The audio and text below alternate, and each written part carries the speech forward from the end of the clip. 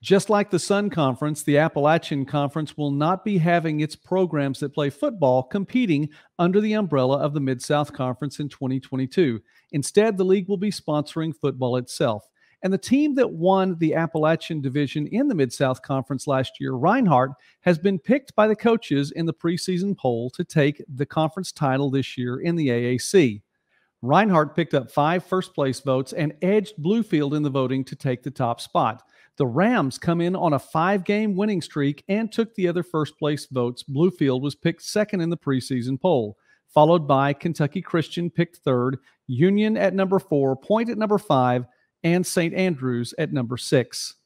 Midwest Sportsnet continues to preview the college football season, and more videos are on the way. Please take the time to like this one and to subscribe to the channel. God bless you. Thank you for watching. Have a great day.